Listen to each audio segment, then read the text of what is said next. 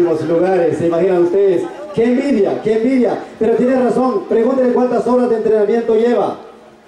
Nadie puede llegar sin entrenamiento.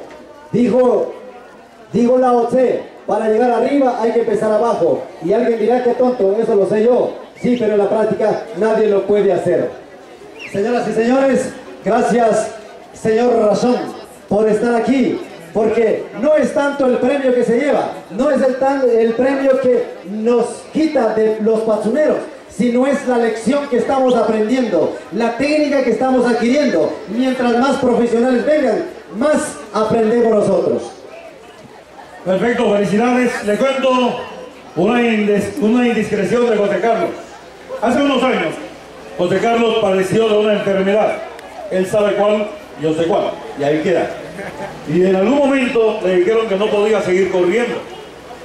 Vino un entrenador coreano y tuvo fe en él.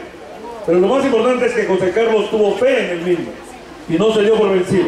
Y venció esa enfermedad fuerte, fuerte de verdad, y lo he visto ganar. Hay que recordar que él es el ganador de los 21K de Guatemala.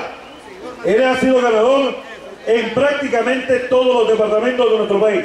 Es uno de los grandes de Guatemala y como decía el señor alcalde, qué honor que hoy esté ganando una vez más, porque aquí ya vino a ganar también. Aquí, precisamente, ganando una vez más, José Carlos Rachón, como lo ha hecho también Alfredo Arevalo, profesor. Muchas gracias. Eso es lo que tenemos que aprender nosotros, las lecciones que nos dejan. No es tanto el premio que se vaya, no es tanto el dinero que se vaya, porque esto se puede recuperar, pero la técnica no se aprende en cualquier, cualquier lugar. Tiene que haber, dijo un sabio, ¿Quieres ser sabio? Camina con los sabios. ¿Quieres ser deportista? Camine con los deportistas.